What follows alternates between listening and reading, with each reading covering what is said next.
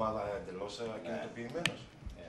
Ε, εντάξει, εντελώς σχετικά, αλλά θα είναι κρεβάτι. Σα πω σπα. He managed the pain, you see, that's the most important thing. Ε,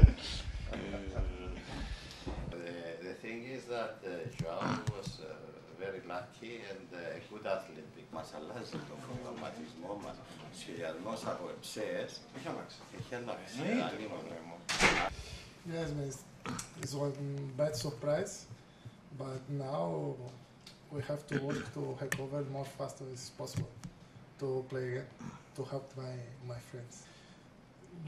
Yes, man, I I want to say sorry.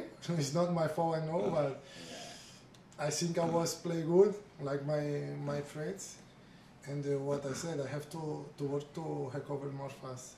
Έρθωση, η οικογένεια του, η ποδοσφαιρική του οικογένεια είναι δίπλα του. Από το πρωί και από χθες όλοι είναι δίπλα του. Μα έτσι είναι, Βασίλη. Εδώ είμαστε όλοι μια οικογένεια. Έρχονται τα παιδιά τους, φέρνουν από το εξωτερικό μερικές χιλιάδες χιλιόμετρα, μίλια μακριά.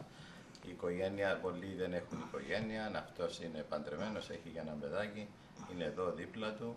Αλλά και εμείς πρέπει να φανούμε ότι είμαστε πάντα δίπλα τους για να ξέρουν ότι εκτός του ποδόσφαιρων, εκτός την επαγγελματική σχέση, υπάρχει και μια πιο στενή, πιο ανθρώπινη πλευρά σε αυτό το πράγμα. Πλήγμα ο τραυματισμός του, έτσι. Σίγουρα μεγάλη απώλεια, ένας τρομερός ποδοσφαιριστής, ένας ποδοσφαιριστής που έχει δείξει, έχει, βα- έχει βάλει το στίγμα του στην ανόρθωση και όχι μόνο στο κυπριακό ποδόσφαιρο. Ε, είδατε τι ωραίο γκολ που έβαλε χθες, α; Αυτό πρέπει, σηκώνει βράβευση.